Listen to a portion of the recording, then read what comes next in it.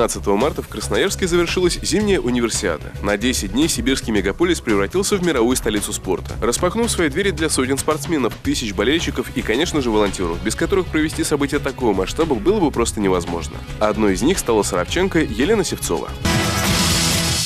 Лен, расскажи, как ты вообще попала на универсиаду, насколько это сложный процесс и может ли вот просто каждый человек, загоревшись и задавшись желанием, это сделать?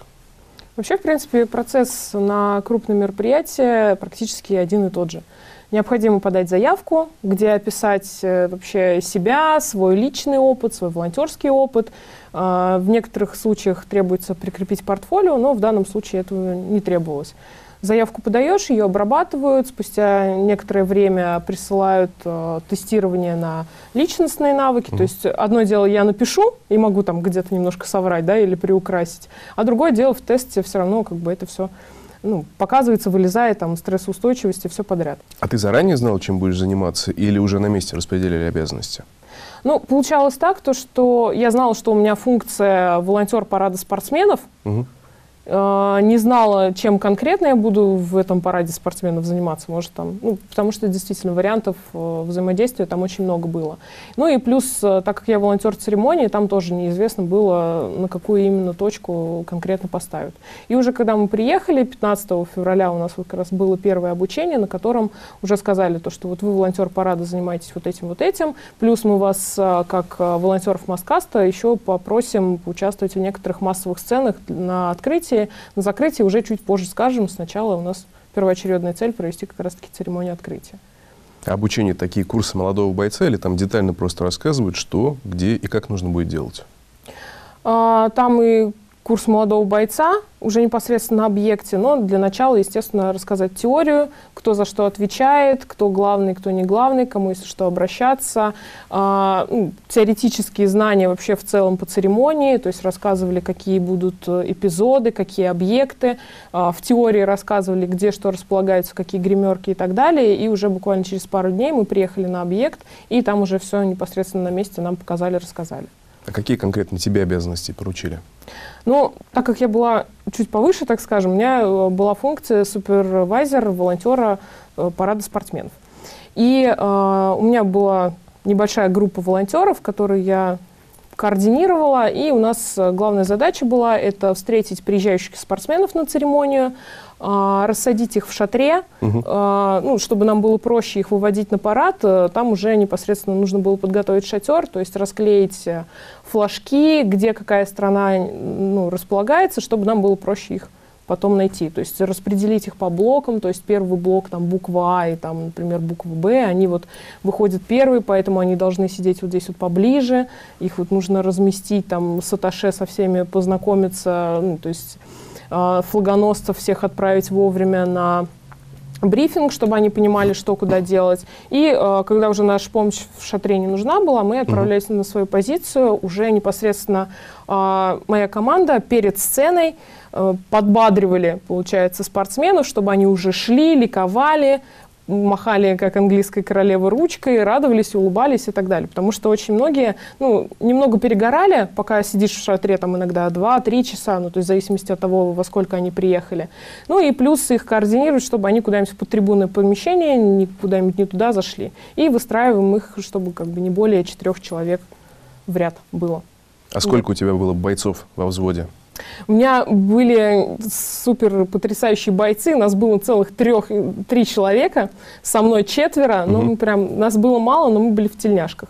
Остальные уже там, например, группа, которые работали в шатре, их, естественно, было побольше, потому что у них а, функция поднять спортсменов, там, иногда не зная язык, потому что, понятное дело, с китайцами и с корейцами это отдельная история, потому угу. что с английским у них э, большие проблемы. Очень не очень. Да, и нужно было их э, грамотно, правильно выстроить, и там, естественно, должно было быть больше количество народу.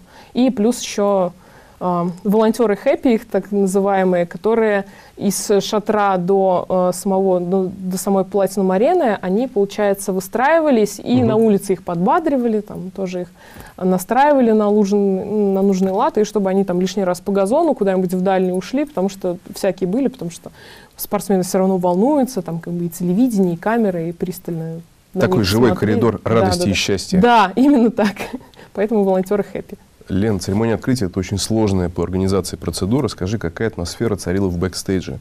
Все было как по часам или постоянные нервы? Кто-то кого-то не находил, чего-то не хватало? Ну, когда как. На репетициях бывало такое, что и не хватало, что-то не работало, но это как бы классический репетиционный процесс. А в сам, ну, как бы, день, да, там, например, генеральная репетиция или первая церемония открытия, там, вторая церемония открытия, это все а, было, естественно, нервозно. А, за счет, видимо, давления, то, что все равно снимают камеры и так далее. Ну, то есть некоторые вещи ты же в обычной жизни делаешь спокойнее, а вот за счет этой а, как бы спешки бывает такое, то, что ой, этот костюм где, этот костюм где, вот этот костюм. Ну да, да, все, успокоились. Ну, то есть все равно дополнительная нервозность, она за счет, вот, особенно камеры, она прибавлялась. Но да Все даже как интервью. Отлично. Вроде надо всего лишь поговорить, а когда включается вот эта атмосфера, она чуть-чуть давит. Да, да. И ты вроде как собранный и немного нервный. А вообще церемония открытия на тебя какое впечатление произвела? Какие самые яркие впечатления ты получила? Ну, самые яркие то, что мы, получается, были частью нек ну, некоторых эпизодов этой церемонии. То есть, например, когда там была а, встреча Ангары и Енисея, вот эта вот красота там с бубнами, вот эта вот музыка, которая прям проходила через тебя. И, получается, следующий эпизод был селфи. Мы должны, все волонтеры были выбегать на трибуны и делать селфи с а, участниками, ну, то есть там со спортсменами, либо с красноярцами, вот как на второй церемонии открытия, либо там на генеральной репетиции это были волонтеры тоже там э, поднимать, получается, а, так сказать, бодрость духа всем, кто там э, сидел и так далее. И следующий момент, когда Зара вот путешествовала на этом месяце, красивым тоже там парила, а, нам выдавали геотеги, ну то есть вот эти вот капельки, которые ставятся обычно на картах, угу. они у нас были с фонариками, мы должны были махать и как раз-таки призывать зрителей, то, чтобы они тоже включили там, например, а, фонарики на телефоне, либо некоторым спортсменам вот эти вот геотеги тоже выдавались. И тоже вот это вот единение, и ты реально смотришь на трибуну, которая была напротив тебя, и она тоже уже как звездное небо, и ты вот в этой, этой эйфории, и Зара ты так красиво поет, и тут акробаты, и вот чувствуешь себя единым целым, понимаешь, то, что вот, возможно, если там не зажгись вот этот вот геотек, возможно бы здесь а, не зажгли бы эти телефоны там или фонарики вот эти люди, и чувствуешь, что ну, без тебя бы этого не получилось, и все, и так и стоишь и кайфуешь, и гордость какая-то берет прям. Очень классно. Лена, какое впечатление на тебя произвел Красноярск? Ты, я так понимаю, там впервые побывала? Нет, а, я нет? уже четвертый раз в Красноярске, и всей душой люблю этот город, Сибирь. И единственный момент, то, что я очень люблю ну, как бы зиму, морозы. И я туда приехала, было минус 15, на следующий день уже так ближе к нулю. И пока я там была, вот этот вот весь месяц, весь снег растаял, немного расстроилась, но, не знаю, все равно любовь к Красноярску осталась все той же. Он чем-то отличается от других мегаполисов? Ну, тот же Нижний взять. Ну, не знаю, мне кажется, каждый город особен по-своему, и когда ты ходишь по Красноярску, там между домов торчат горы, для нас это, ну, для равнинной части России, это, не знаю, плюсик, учитывая то, что я вот очень люблю горы. И, например, а, недалеко от э, Красноярска, ну, даже, получается, в пределах города, природный заповедник Столбы. Это тоже потрясающее зрелище. Ну, кто будет в Красноярске, обязательно надо там а, побывать. Причем неважно, в какое время года, и летом, и зимой. Летом, правда, ключей много, так что там нужно выбрать все-таки момент. А так вообще красота. Енисей тоже прекрасен, который не замерзает зимой. Это тоже особое зрелище. Не замерзает? Нет. А почему, интересно? Ну, там определенное течение, там определенные там, погодные условия, получается. И когда я, там, например, фотки выкладывала в Инстаграм, и мне писали, о, ничего себе, как у вас там тепло, даже как бы Енисей растаял. Не замерзает. о, ничего себе. Вот, ну, то есть были такие свои, не знаю, фишки. И вообще сам Красноярск, не знаю, несмотря на то, что говорят, что и город и грязный, и машин много, и mm-hmm. пробки, я не знаю, мне кажется, можно положительные моменты найти везде. А ты можешь выбрать вот два-три прилагательных, которыми можно описать Красноярск? Ох, это, наверное, тяжело. С существительными проще, потому что у меня вот я приезжаю в Красноярск, у меня вот прям два э, ярких э, существительных. Это счастье и эмоции, потому что без э, положительных эмоций я оттуда ни разу не уезжала, причем, ну, как бы достаточно много путешествую, достаточно много городов объехала, и далеко не из каждого города я могу уехать вот именно вот с счастьем и с положительными эмоциями. У меня даже ощущение, что я вот мыслями до сих пор где-то в Красноярске, и вот уже планирую, мне кажется, ближайшую поездку туда. Занял свое место в твоем сердце этот да, город. Да, определенно. И вот четвертый раз прям особенно укрепил, потому что до этого, ну, приезжала максимум там, на две недели. А вот этот вот месяц в Красноярске, угу. он прям окончательно влюбил в себя. А у тебя было свободное время, чтобы просто погулять по городу, куда-то сходить, как-то развлечься? Да, у нас получилось то, что после церемонии открытия, после второй, а, было немного дней, так скажем, на отдых, и потом уже репетировали церемонию закрытия. И в этот момент мы уже по максимуму там, брали билеты на спортивные состязания, то есть я успела посмотреть бенди. А, я... Что такое бенди? Это хоккей с мячом. Причем и женский, и мужской, который я раньше вообще никак не воспринимала. А потом один раз придя, уже все, тоже влюбилась в бенди, все понравилось, все прекрасно, и мы в итоге еще на три игры сходили. А, очень понравился, ну, я вообще, в принципе, обожаю керлинг. А когда я уже увидела его вживую, там тоже эмоции переполняли, вообще тоже вся в счастье была. Увидела лыжный слалом, увидела а, фристайл. Фристайл — это вообще отдельная тема. Я все ну, как бы смотрела и вот так вот через практически полузакрытые глаза, потому это что... акробатические они... прыжки на лыжах, да? Да, то есть сначала они еще вот по этим вот непонятным горкам, а потом еще и прыгают. Там же просто без коленей можно остаться, когда вот эти вот все кочки проходишь. Не знаю, мне прям было жутковато страшно, но при этом и красиво. А вы как волонтеры имели право свободно проходить?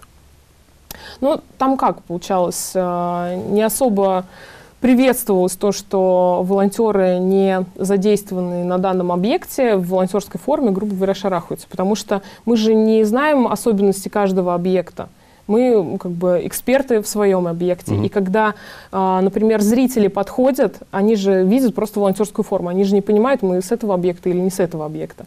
И они могут задать, например, тот вопрос, на который я не знаю ответа. А говорить не знаю, естественно, ну, не стоит. И то есть тут вариант либо искать э, коллегу-волонтера, который в курсе, что и как происходит, но есть вариант, опять-таки, найти такого же волонтера, опять-таки, с другого объекта. И вот вы уже целой толпой ищете да, ответ на определенный вопрос. Поэтому, если мы ходили на соревнования, это желательно, естественно, как бы штатская форма, я не знаю, как бы обычного горожанина, то есть не волонтерская. А что представлял из себя волонтерский мундир? Ой, это был прекрасный лыжный костюм э, голубого и э, ярко-розового цветов, ну, то есть вот как раз цветов универсиады. Плюс еще давали поло, э, футболку с длинным рукавом и толстовку. И вот в этой красоте мы как раз-таки курсировали практически весь месяц. Все это можно было с собой забрать? Да, конечно. А, как же, забыла, зима же все-таки, варежки, шапка и шарф. Просто этим практически не успели попользоваться так как было достаточно тепло, и мы все равно были в основном на объекте. Брендированный, да? Да, да, все брендированное, все красивое, классное, теплое, прям. Лена, вот э, твое волонтерство на универсиаде, как можно это назвать работой? Не знаю, у нас э, даже, ну, сама когда тренинги по, ну, по обучению волонтеров проводила, волонтеры, они не работают, они помогают. И здесь это, получается, можно назвать взаимопомощью потому что, грубо говоря, ты отдаешь свое личное время, отдаешь свои эмоции, взамен ты получаешь форму, взамен ты получаешь э, новые интересные знакомства, связи и так далее. Это просто неоценимый опыт получаешь. Это такой бартер. То есть, в принципе, работа — это ну, такое слово, которое мы стараемся избегать. В основном это вот именно помощь. А есть какие-то вещи, к которым нужно быть готовым?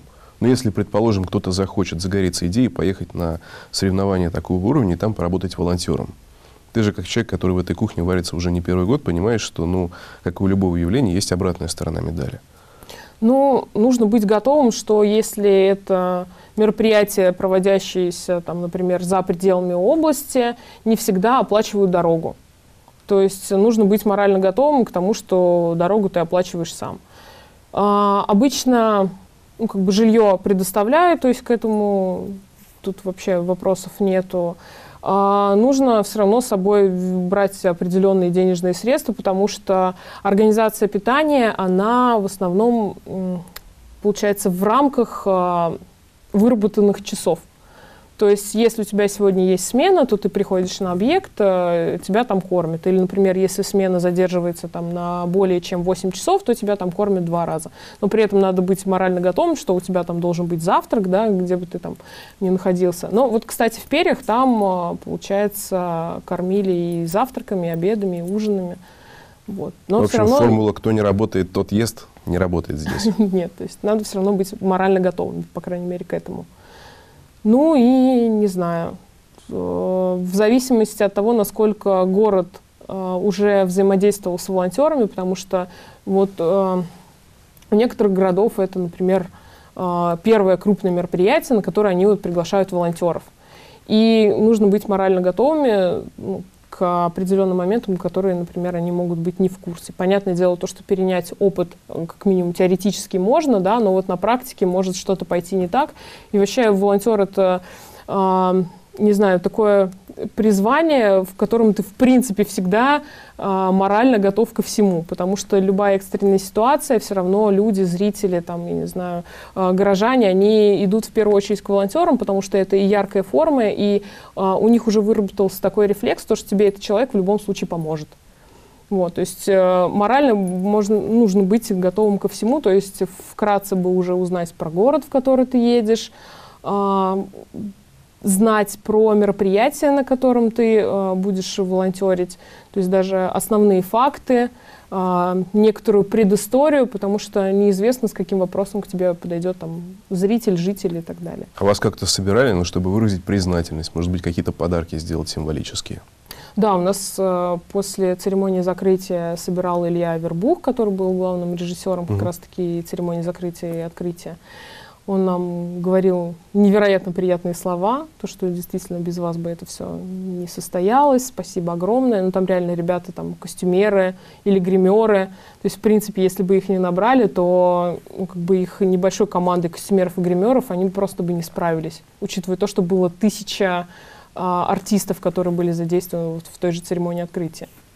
Вот. И а, была определенная система поощрения, то есть там на нашей аккредитации клеили лапки волшебные, то есть э, так как а, у нас получается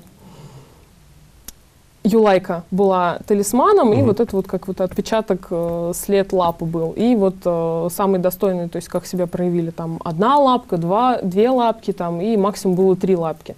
И за это можно было, ну, получается, получить э, волонтерские значки, волонтерские значки там в красивой коробочке, там сумки под обувь, тоже там все брендированное, а, там дополнительный комплект варежек и перчаток, но они уже флисовые, то есть они уже тоже такие прикольные, выделяющие, то есть ты, если видишь человека вот именно угу. в этих варежках и перчатках, ну, то есть в варежках и в шапке, ты понимаешь, что, о, вон, значит... Это молодец. Да, это прям очень большой молодец, который прям волонтерил от и до, от рассвета до заката, как говорится. Вот. И плюс благодарственные письма а, на английском языке от дирекции, от э, ФИСУ они решили объединить, то есть там угу. за тремя подписями, все в красивой рамочке. Но для меня, наверное, самой ценной благодарность стала Илья Авербуха.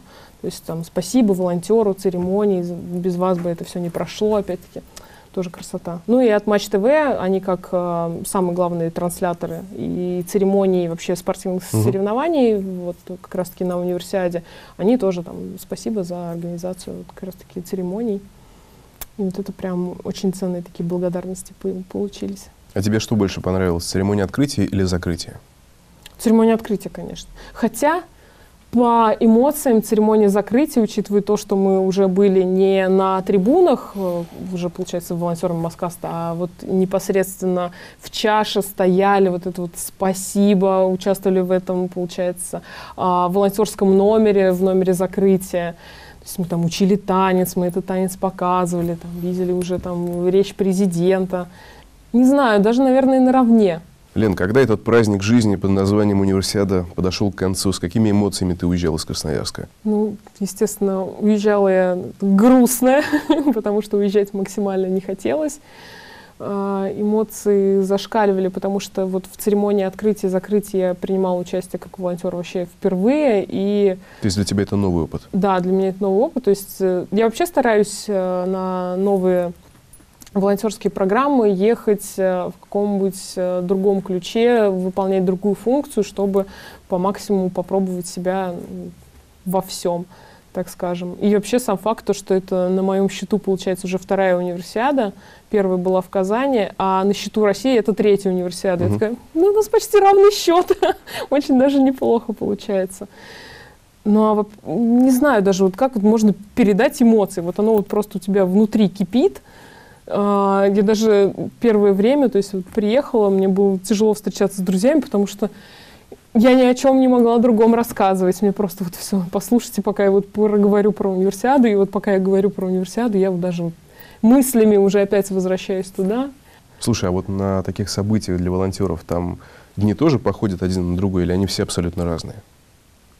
Ну, в нашем случае они были разные, потому что в определенный день мы репетировали одно, на следующий день мы репетировали другое. То есть один день мы, например, репетировали церемонии, потом мы репетировали парад, потом мы там, например, обустраивали шатер для спортсменов. А следующий день нам, нас обрадовали то, что мы задействованы еще в одном номере, вот как раз-таки с Зарой. Угу. И вот это вот, кстати, решалось прям непосредственно за несколько дней до открытия, то, что мы будем задействованы именно еще в том номере. Мы начали репетировать еще и этот номер. И даже вот было пару дней, которые, ну, несмотря на репетиции, были похожи, но от каждой репетиции ты получаешь что-то новое. И когда ты э, смотришь, например, на то, что происходит в чаше, э, сегодня они репетировали в обычных одеждах, на следующий день там гримеры уже тренировались макияж, ты уже видишь, что, что они уже все разукрашены. Там на следующий день ты уже видишь, что, что ребята еще и некоторые в костюмах. И вот это вот постепенно-постепенно собирается такая целостная картина всего вот открытия и закрытия. И вот не знаю, опять-таки такие эмоции, я вот даже сейчас опять говорю, меня аж захлестывает это все. А я даже не могу себе представить, каково это находиться на стадионе, не на трибуне, а вот именно на самом стадионе, угу. когда он полностью заполнен, весь в огнях горит, и там что-то происходит грандиозное. Это тоже определенная буря эмоций. Единственное, что э, Platinum Arena, она вместимостью, получается, 7 тысяч человек, но за счет вот, декорации, построения сцен угу. э, некоторых, э, там получилось, что вообще осталось всего 5 э, тысяч э, вместимость. И по сравнению, там, например, с той же Казанью, да, где было 45 тысяч населения, угу. а здесь всего 5, я думала, то, что вот, наверное, будет не так. Все равно все так же захватывает, все так же накрывает волной. И даже несмотря на то, что чуть меньше людей, все равно эмоции, мне кажется, такие же. Лен, ну традиционный завершающий вопрос о планах. Куда хочешь поехать в следующий раз? Хочу в Минск. А что там пройдет? Там а, будут э, вторые европейские игры. А, первые были, получается, в Баку совершенно недавно, а сейчас вот получается Минск, Беларусь. Для меня это, во-первых, и будет новый опыт в плане не на территории России уже мое волонтерство, а уже наконец-таки выйду за пределы. И не знаю, очень хочется, но там отбор всего то ли 300, то ли 500 человек от России вообще в принципе. Ну, тебе не привыкать.